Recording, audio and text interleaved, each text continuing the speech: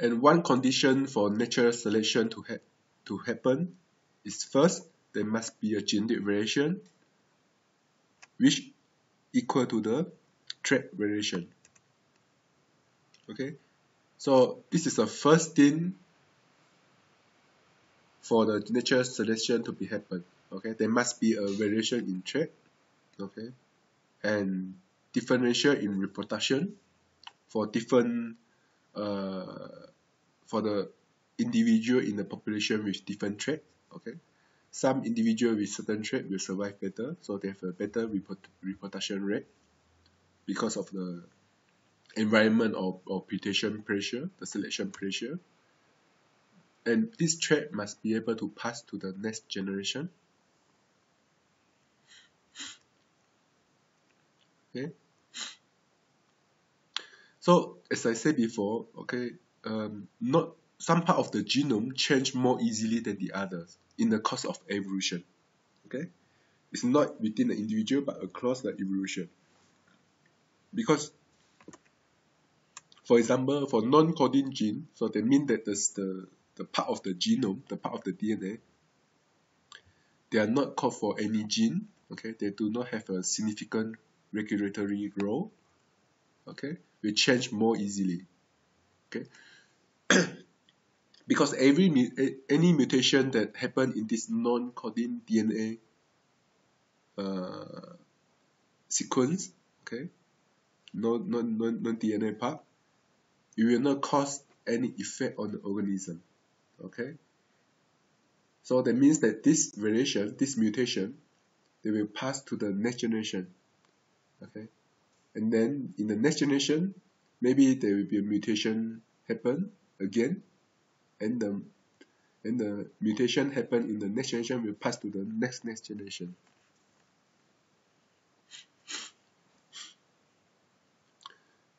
and it's very different from the coding DNA. Okay, this part of the DNA is very important and to to produce some very important protein or RNA molecule.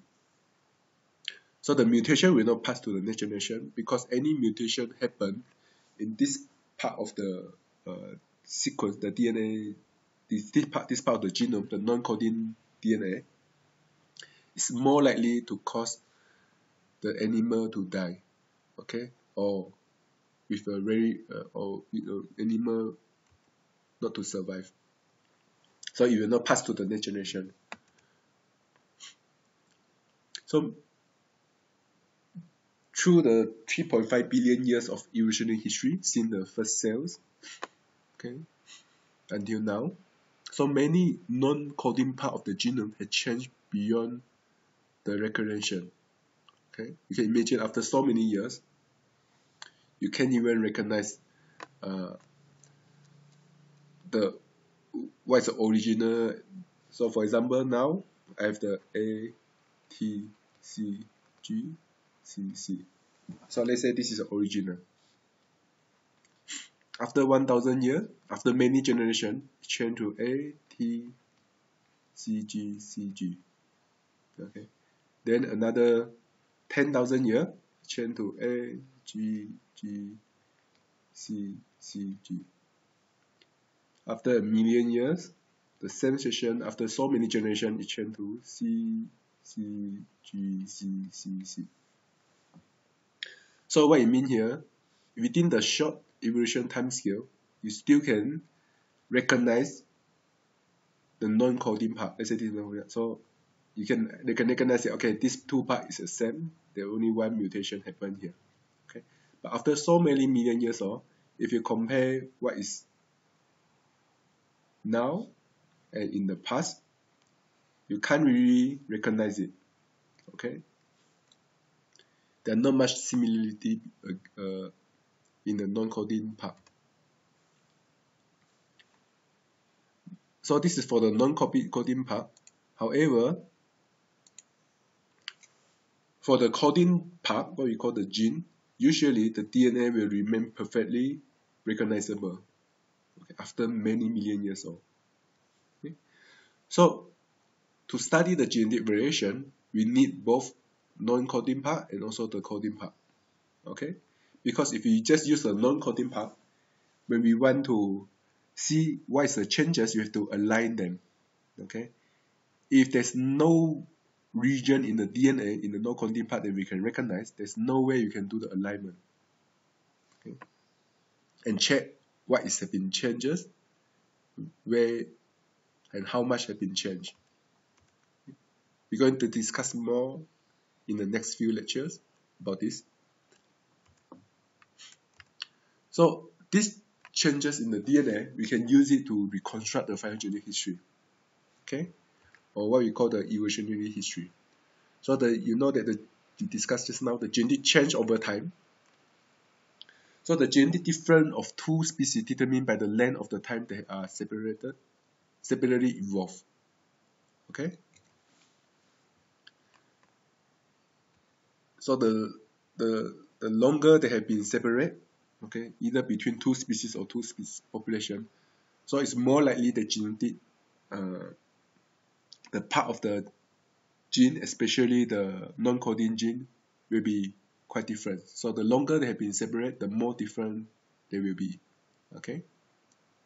Because the mutation accumulate according to time. Okay, so longer the time, the more mutation. So if more mutation happen uh, separately in two separate species or population, and the mutation is different, so they will be more different in their DNA sequence.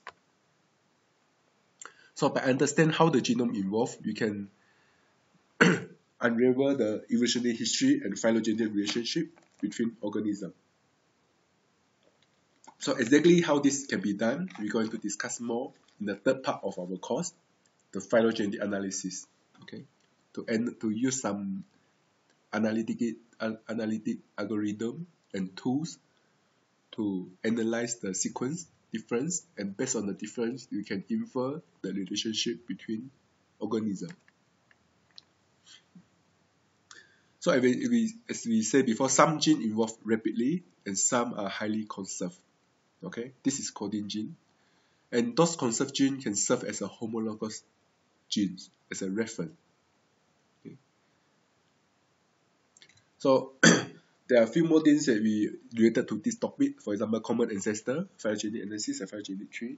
But I'm not going to talk in detail in this lectures. We're going to discuss more in the next lecture. And by using the homologous gene as a reference, okay, we can describe the divergence between organisms.